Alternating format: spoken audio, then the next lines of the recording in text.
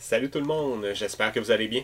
Ici Vitendo aujourd'hui en ce 8 août 2015 pour vous montrer toutes les nouvelles acquisitions que j'ai pu faire depuis la dernière fois qu'on s'est vu et ça fait seulement une semaine, euh, encore une fois, donc euh, je crois que ce mois d'août s'annonce très bien ainsi que la fin du mois de juillet n'a pas donné sa place. Et entre-temps, la meilleure façon de me rejoindre, c'est sur Twitch actuellement. Je suis tous les soirs à partir de 11h PM jusqu'à des fois tard dans la nuit, donc je joue au moins en moyenne 3-4 heures par soir. À vous de venir me suivre. Et j'ai fait dernièrement Castlevania sans mourir, comptant en 16 minutes et quelques secondes. Donc ça reste à voir, vous pouvez aller voir ça sur ma chaîne YouTube Retro Gamers, la chaîne que vous êtes actuellement, ou si vous êtes sur Facebook, peu importe, euh, le temps je récupère ma chaîne euh, YouTube Nintendo. Pour ceux qui posent souvent la question, que vous vous demandez pourquoi que je vous réponds pas ou pourquoi que je fais pas de nouvelles vidéos, ben c'est la raison pour laquelle que ça se passe ici actuellement, soit sur Facebook ou sur ma chaîne YouTube Retro Gamers ou sur Twitch, à vous me suivre dans mes palpitantes aventures ou dans mes défis qui sont la plupart du temps des no death run à terminer des jeux sans mourir. Comme Castlevania, c'est vraiment un excellent jeu en passant. Il y a un bon rythme, un peu lent, mais on s'y habitue, puis euh, je trouve que c'est un bon défi que j'ai pu faire justement cette semaine. Et actuellement, ça fait, euh, je crois, 2-3 jours, c'est pas justement ce soir, peut-être le quatrième soir que je vais être sur Sonic 2. Tenter euh, cette fois-ci de le faire sans mourir en moins d'une heure. Hier, je l'ai fait en 56 minutes en mourant quelques fois. Je commence à m'y habituer. J'y jouais quand j'étais ado, donc je l'ai eu avec mon Sega Genesis. mais Sega Genesis, à la base, euh, j'ai eu le modèle avec Altered Beast, euh, avec le jeu Altered Beast aussi d'inclus. J'ai eu E-SWAT, euh, Strider, Sonic 1 et Sonic 2 au Sega Genesis. Donc, à vous de venir me voir sur Twitch pour voir ces défis-là en question. De toute façon, je vous poste une fois que j'ai réussi mon exploit, ou en tout cas mon exploit personnel.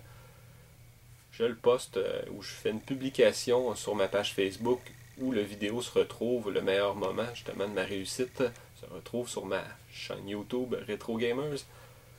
Donc si je peux commencer avec ce que j'ai pu amasser dernièrement, ben euh, ça a quand même bien été, je vais vous dire, j'ai été chanceux euh, côté quantité, côté prix. Donc cette fois-ci, euh, je ne pas, pas en tout de non du tout de vous en parler plus en détail.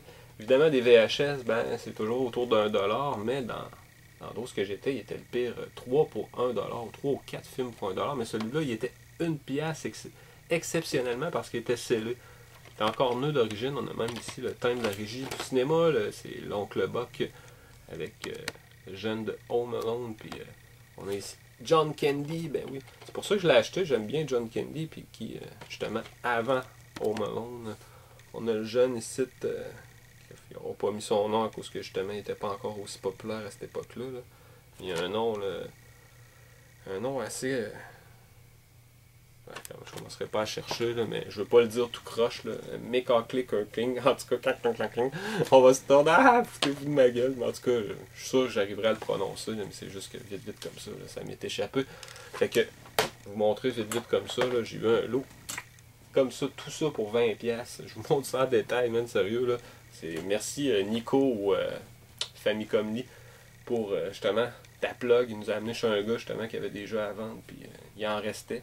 Fait que, il l'a appelé, le gars était disponible, faisait des excellents prix parce que mais que je vous montre ce que j'ai eu. En passant, ben, lui il a fait des achats puis il m'a donné ça, ça y intéressait pas, faut croire. Donc merci à toi. Game Killer pour le Commodore 64 ou 128. Game Killer. Vous vous demandez c'est quoi, mais c'est Live After Death pour faire des jeux sans mourir. C'est bizarre, ça fit avec mon objectif, mais ça c'est pour tricher dans le fond, malheureusement. Là, on a une cartouche ici. Pas d'étiquette, mais il est écrit Game Killer, puis un petit bouton sur le côté. Malheureusement, il y a quoi qui se promène dedans. Pas de livret d'instruction, mais Live After Death à Run Maiden. En tout cas, ça, ça rock pas mal, c'est pas pire. En tout cas, merci. En passant pour ton petit cadeau, euh, c'est surprenant qu'en plus il me donne quelque chose en plus de ce que j'ai pu amasser. Fait que pour commencer, deux jeux de PlayStation 1. Robotron X. Euh, qui, ne se souvient pas de Robotron, j'ai pas joué à l'arcade, mais j'ai joué sur euh, les compilations justement Midway. Où il y a une compilation justement PlayStation 3 qui, dans le fond, nous permet de jouer à pas mal tous les classiques qui sont sortis à, cette époque-là. Xybot, en tout cas, j'ai vraiment aimé ça, c'est vraiment avant-gardiste. C'est un jeu qui était, je crois, euh, censé sortir sur cassette Tengen ou Tengen sur euh, Nintendo NES non licencié, Xybot, ou c'est peut-être sorti en Australie, mais vite vite comme ça, je sais pas trop si c'est un prototype j'ai vu ou c'est vraiment un bootleg refait euh, de la ROM qu'ils ont retrouvé. Que malheureusement, le boîtier il est pété. Savez-vous qu'est-ce qu'ils ont fait le monde? Qu'ils l'ont eu, ils l'ont ouvert comme ça. Il y a encore le cire sur le côté. Ils ne savaient pas comment ouvrir un CD. Ils l'ont vraiment ouvert. Là, j'ai réussi à le décoller, mais je l'ai déchiré même. C'est la première fois pour vrai. J'ai aucune idée pourquoi il était ouvert comme ça je veux pas me contredire, mais vraiment, là, j'ai cru euh, que la personne était ignorante, qu'elle savait pas comment ouvrir un CD. En tout cas, je vais enlever ce collant-là, c'était juste pour vous montrer qu'il y avait encore le collant d'origine, vraiment, de Robotron X. Et ce caisse-là, au moins, il n'est pas pété pour In Cool Blood. Deux CD à l'intérieur, il y a encore un beau boîtier, vous voyez, ça se trouve euh, assez aisément, comme ça. Les CD sont en bon état. Je veux dire, deux pièces chaque. Euh, il y en a un, on va dire, dans les 6 jeux que vous allez voir en CD que j'ai eu gratuitement. Dans le fond, les 6 pour 10$, on en a donné un gratuitement. Donc là, on va y aller dans le PlayStation 2. DT Racer. Le boîtier était cassé, mais je l'ai changé. Je l'ai nettoyé, donc complet, en bon état. À ce prix-là, j'en ramasse des jeux, comme je vous l'ai dit, quand c'est autour de 2 pièces. Motocross Mania 3, Seal, scellé encore à ce prix-là en plus. Bon prix, hein? cool. Il n'y a pas le seal comme euh, on a l'habitude des fois on avait l'habitude de le voir au PlayStation 1. Il y a des jeux de PlayStation 2 qui sont scellés, en tout cas d'origine de cette façon-là, pour prouver que c'est un vrai jeu scellé Factory, seal euh, par PlayStation, mais euh, des rééditions ou des éditions qui sont sorties un peu plus tard qui n'ont pas ce seal-là. Donc, fiez-vous juste si vraiment à ce que ça soit en X Ouais, que ça soit bien euh, scellé. on le voit, la qualité du plastique, c'est vraiment pas la même aussi. C'est facile à détecter.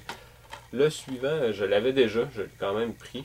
Ça m'a permis de changer de boîtier. Ça, c'était le boîtier de DT Racer.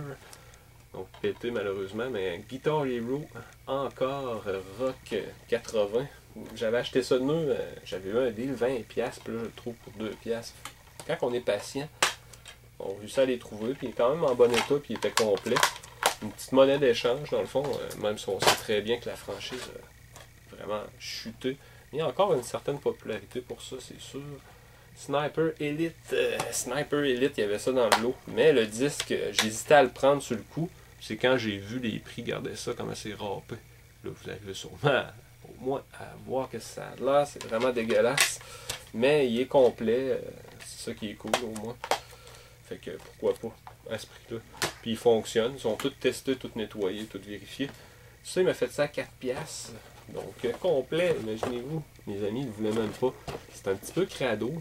Là, chez eux, on voyait malheureusement qu'il n'était pas propre comme certaines personnes le sont. Mais le gars était vraiment sympathique. Euh, au moins, ses affaires étaient serrées dans un armoire.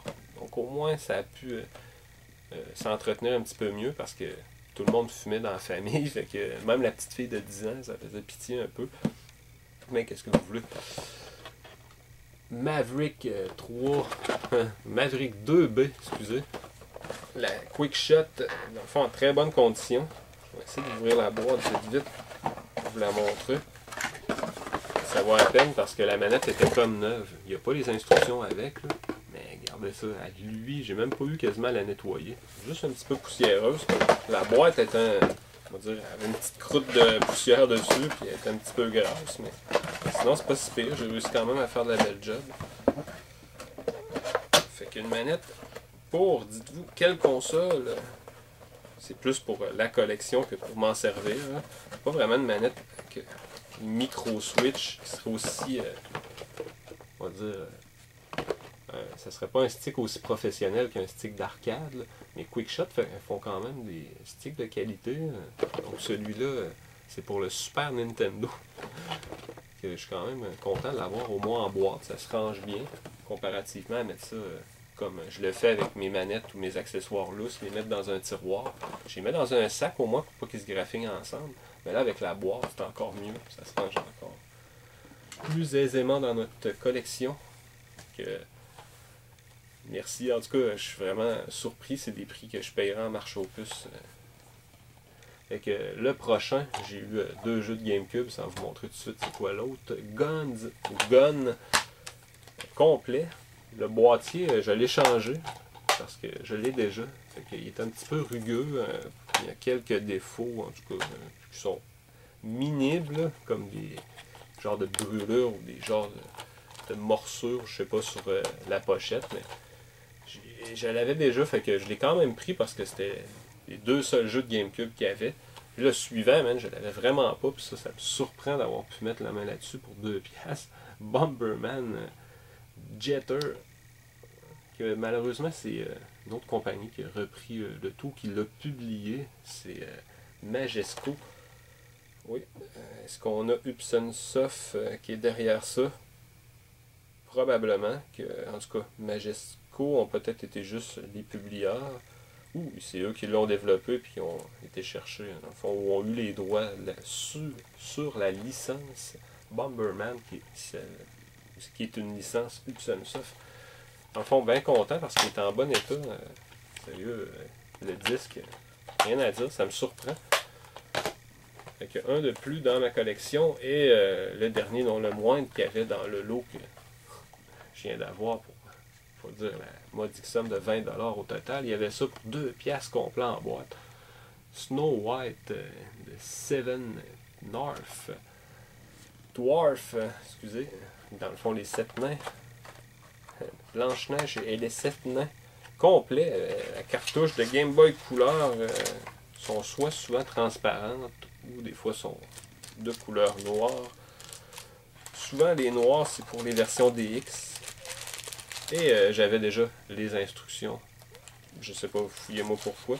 Ce qui est le fun, il y avait même le petit sac, comme vous voyez, pour emballer la cassette euh, à deux pièces. Euh, pourquoi pas, ça va être un petit plateformeur que j'ai essayé de tenter de débuter une partie rapidement lors des vérifications des jeux pour voir leur bon fonctionnement. J'ai pu voir, ça, il n'y avait rien à faire avec les boutons, on faisait juste avancer dans un village, on pouvait parler, je sais pas, dans un château, exemple, juste parler aux gens. Mais peut-être c'est intéressant, il suffirait juste de l'explorer un peu, même si c'est un petit jeu pour enfants, et qui est développé ou publié par Ubisoft, un jeu de Disney. Donc ça fait pas mal le tour de ce lot. Et euh, oui, euh, entre-temps, évidemment, j'ai encore mis la main sur des t-shirts un que c'est pas nécessairement un t-shirt de jeu vidéo, mais ZTC, vous allez vous demander c'est quoi? C'est pour euh, Zombie Transformation Center. J'aime toujours ça, les affaires de zombies, puis ça passe un peu inaperçu. Je vois ah, un exterminateur de zombies, c'est pas hein? une compagnie, la ZTC, la Zombie Transformation Center. Run for your life. de Zombie Horn. Horde.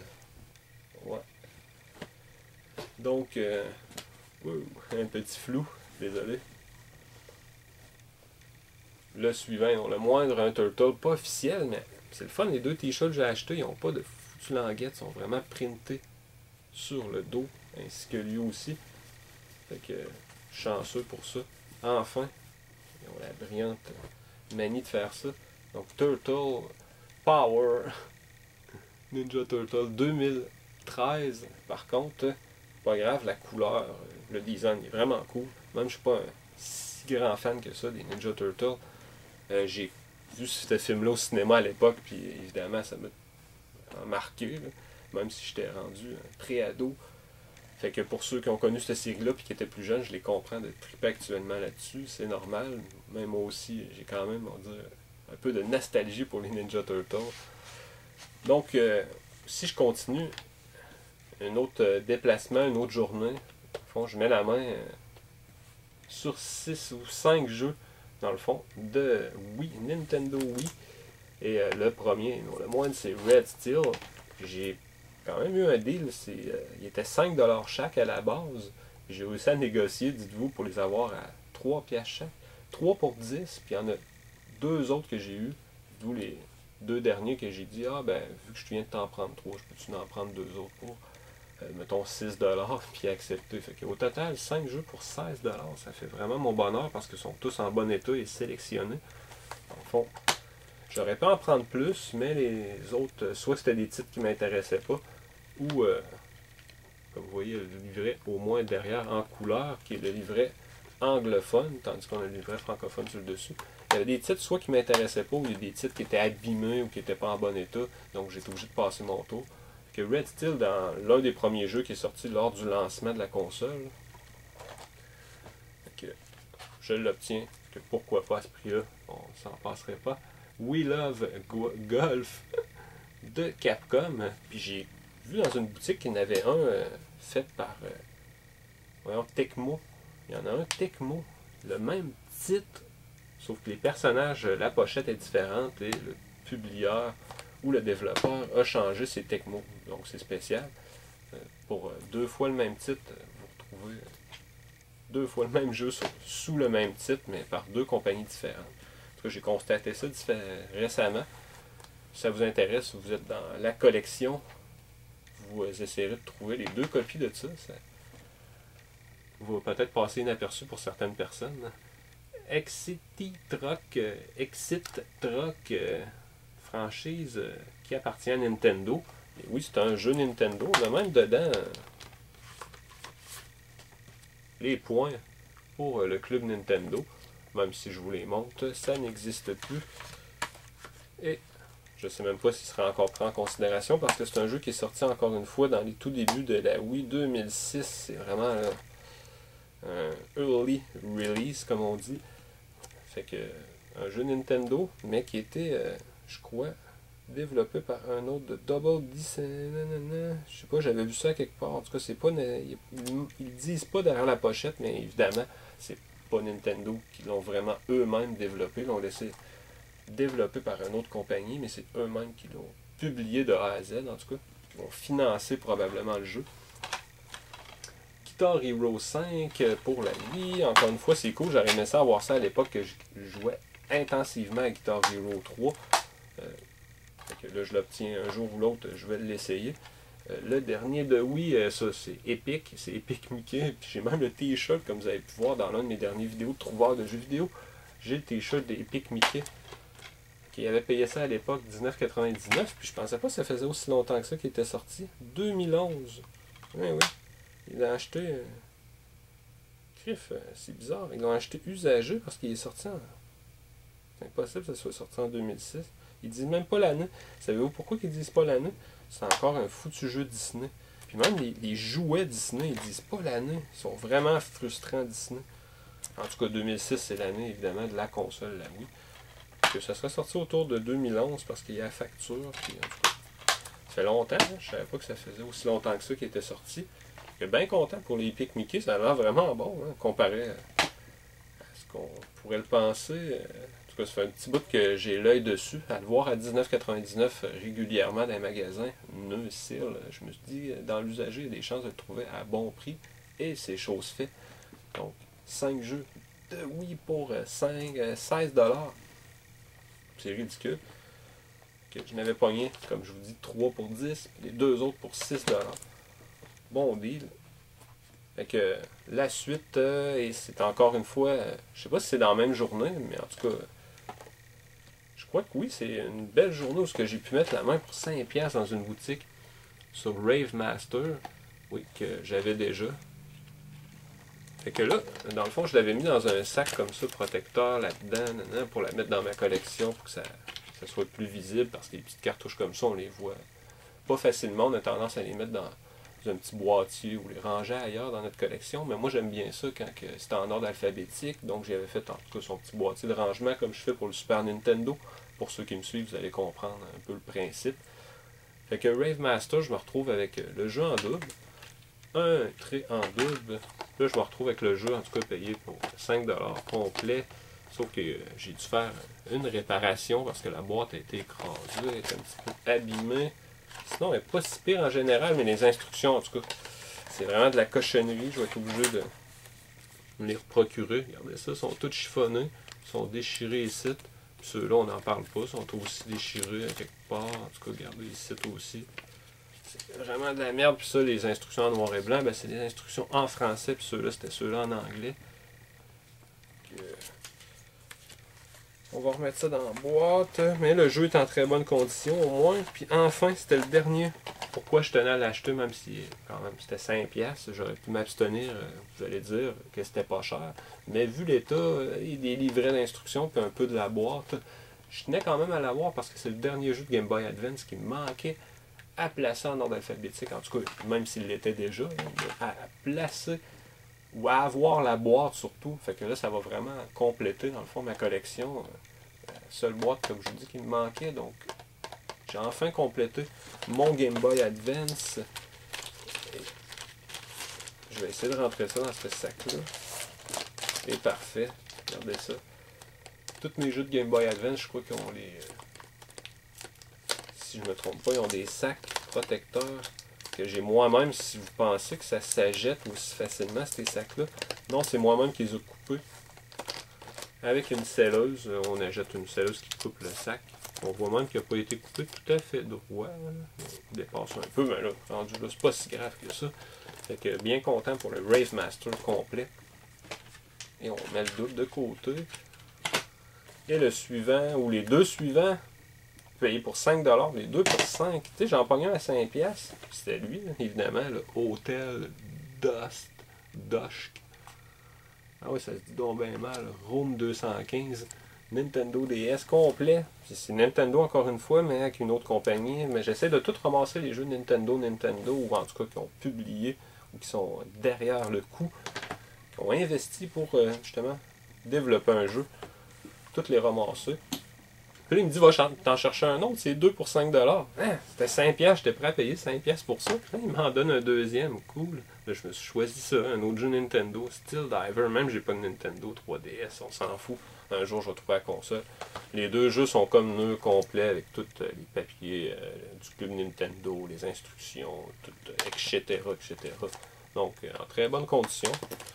Je sélectionne quand même ce que j'achète. Sinon, je passe mon tour.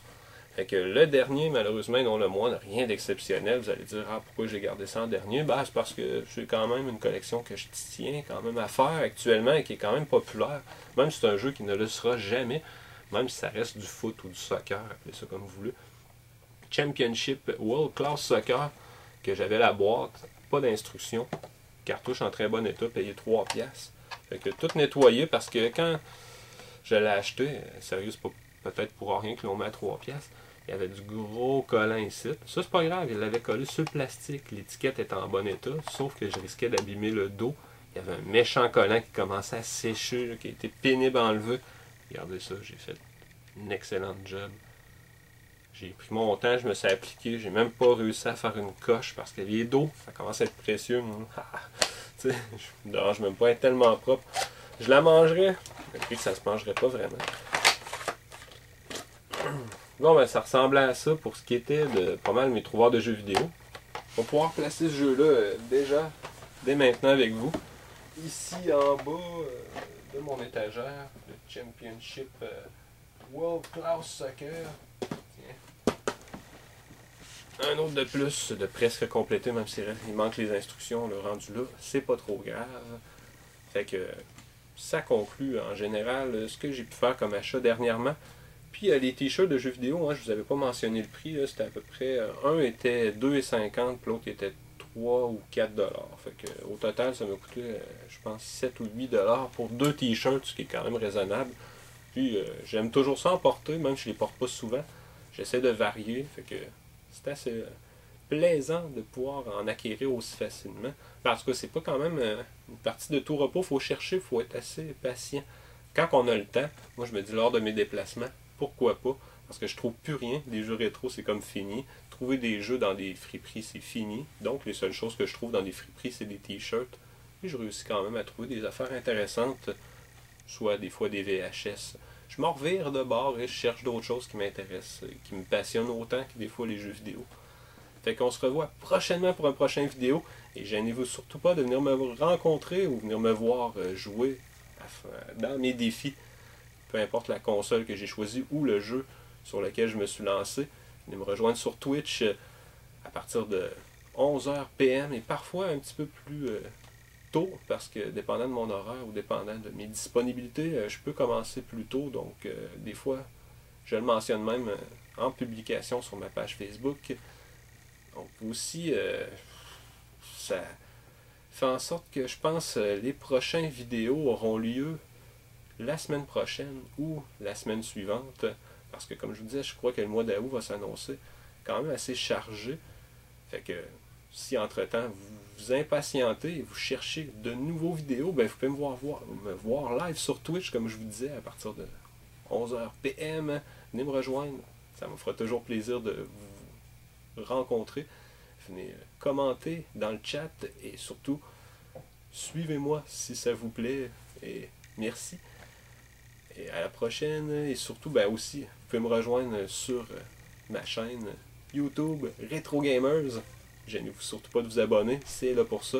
Et aussi mettre une petite mention j'aime sur ma page Facebook, ça me fera toujours plaisir. Fait que à la prochaine et merci, passez une excellente semaine.